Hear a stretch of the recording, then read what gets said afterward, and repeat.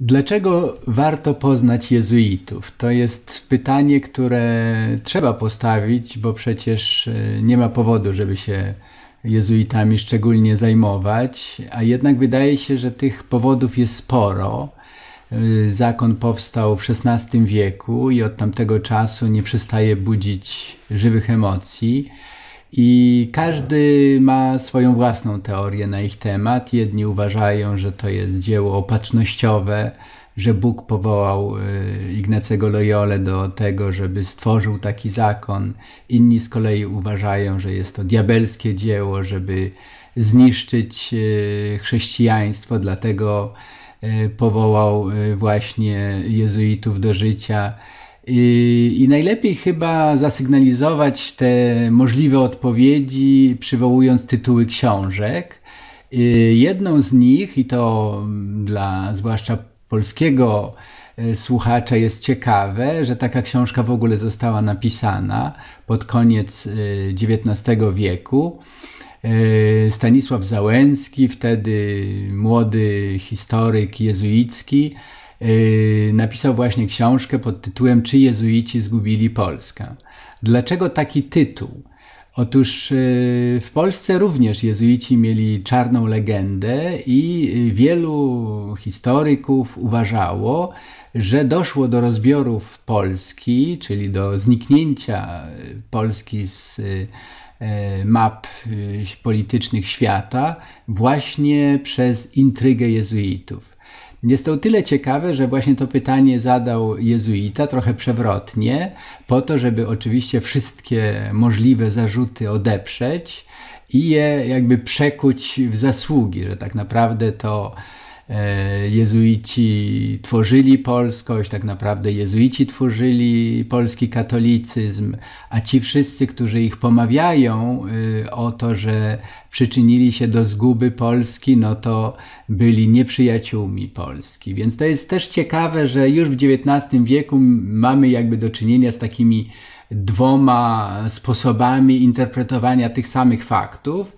Ja o tym mówię tylko, żeby zaintrygować e, słuchaczy, że później e, na te pytania spróbujemy sobie e, znaleźć odpowiedzi, ale przez sam fakt, że takie pytania powstały, myślę, że, że jest to dość ciekawe ale żeby zdać sobie sprawę, że to nie jest tylko polska specyfika, przejdziemy do następnego tytułu o wiele bardziej jeszcze mówiącym tytule niemieckim Macht und Geheimnis der Jesuiten, e, czyli można to przetłumaczyć jako potęga i tajemnica jezuitów.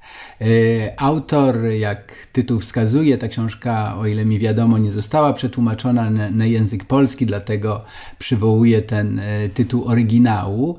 Mm, przede wszystkim starał się zrozumieć, na czym polega ta siła tego zakonu. Jak to się stało, że w ciągu kilku wieków jezuici opanowali papiestwo, e, Mówiło się przecież o generale jezuitów jako o czarnym papieżu, że stali się doradcami e, dworów e, królewskich, książęcych w całej Europie, że stworzyli cały system szkół, uniwersytetów i to wszystko no, stworzyli potężne kościoły barokowe. Właściwie trudno zrozumieć barok nie tylko europejski, ale e, w Ameryce Łacińskiej, no w różnych częściach świata bez tego śladu obecności jezuitów, więc ta, ta potęga to nie jest metafora, to jest fakt.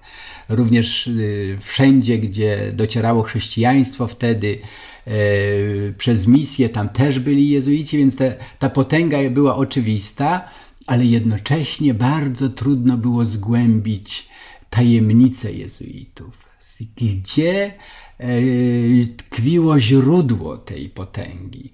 No i autor stawia te pytania znowu wcale nie retorycznie, tylko próbuje na nie odpowiedzieć i sądzę, że że to jest interesujące jako zjawisko kulturowe po prostu. To nie jest tylko jeden z zakonów, których jest setki w Kościele katolickim, ale jest to zakon, który naznaczył y, swoją obecnością kulturę w sposób absolutnie nie do przeoczenia. Także nawet y, ateista, wspaniały y, semiolog francuski Ronald Barth powiedział w swojej książce poświęconej również Loyoli, że jezuici nauczyli Francję czytać i pisać. To znaczy byli mistrzami stylu. I tutaj też widzimy, że ta potęga jezuitów skrywa się chociażby w czymś takim.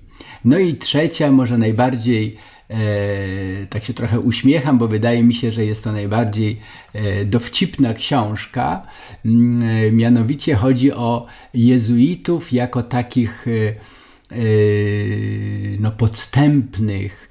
E, I to zostało zdemaskowane w książce byłego jezuity. To jest bardzo ciekawe. Hieronim Zachorowski, autor e, tej książki napisanej po łacinie Monita Secreta, czyli takie sekretne pouczenia, e, będąc e, sam jezuitą, poznał ich tajemnicę od, od wewnątrz i tak był tym wszystkim zgorszony, że występując zniesmaczony z tego zakonu, odkrył ich tajemnicę. I to, e, to jest bardzo ciekawe, że to był bestseller, e, tak jak dzisiaj, nie wiem, porównywalny może z Dan Brownem, e, który w milionowych nakładach się sprzedaje o, myślę oczywiście o kodzie e, Leonarda da Vinci, tak te właśnie monita secreta, czyli tajemne pouczenia, były rozchwytywane w całej Europie, tłumaczone. Tu akurat e, ta okładka wskazuje na, na tłumaczenie w języku, na język angielski, są też na, na język włoski, francuski, niemiecki. Nie mamy niestety tych e, sekretnych pouczeń w języku polskim, więc e, pozostaje nam czekanie, kiedy wreszcie jakiś tłumacz się zlituje i nam te sekrety jezuitów również zdradzi.